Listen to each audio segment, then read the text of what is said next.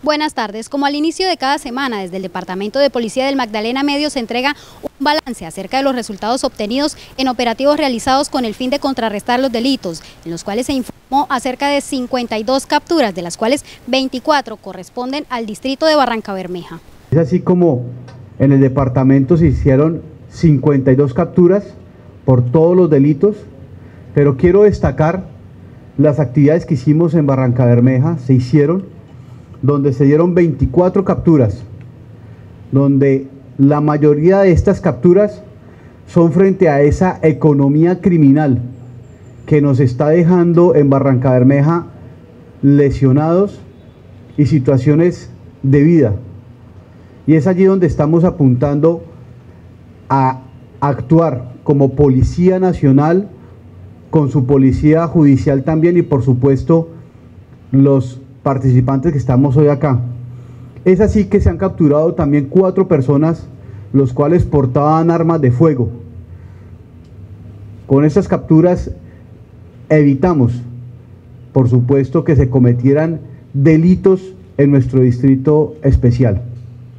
En cuanto al delito de hurto, las autoridades dieron a conocer que hubo una reducción del menos 46% en hurto a personas, una reducción del 100% en hurto a comercio y menos 33% de hurto a viviendas.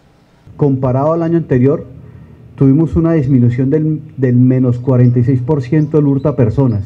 El hurto a comercio, una reducción del 100% y el hurto a residencias, una reducción del menos 33% le decimos a la comunidad frente a las motocicletas, frente al hurto de motocicletas. Ese, ese es un problema donde desafortunadamente dejamos la motocicleta mal estacionada, muchas veces con las llaves. Entonces, por favor, ese factor de oportunidad que le permitimos al delincuente, eh, ese momento es ya un llamado a la comunidad para ello. Asimismo, se dio a conocer acerca de la recuperación de un vehículo tipo motocicleta, el cual había sido hurtado el año anterior, además de la incautación de estupefacientes y armas de fuego.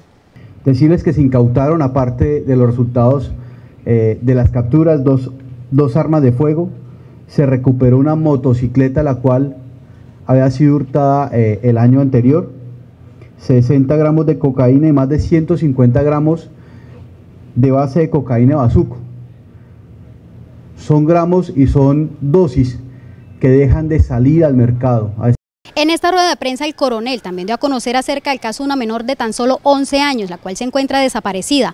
Al parecer habría huido con su pareja sentimental de 25 años de edad. Se activaron las alertas, se activaron la ruta a través de infancia, adolescencia, eh, de, la, de la seccional de protección y las labores de inteligencia.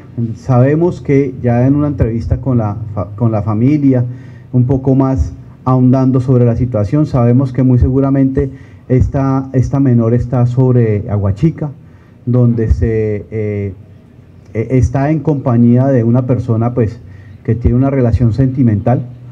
Eh, por supuesto, pues eh, ya hace parte producto de la investigación y estamos en la búsqueda de ella. Esa es la información que se genera aquí desde el Comando de Policía en rueda de prensa. Sigan ustedes en estudio con más información.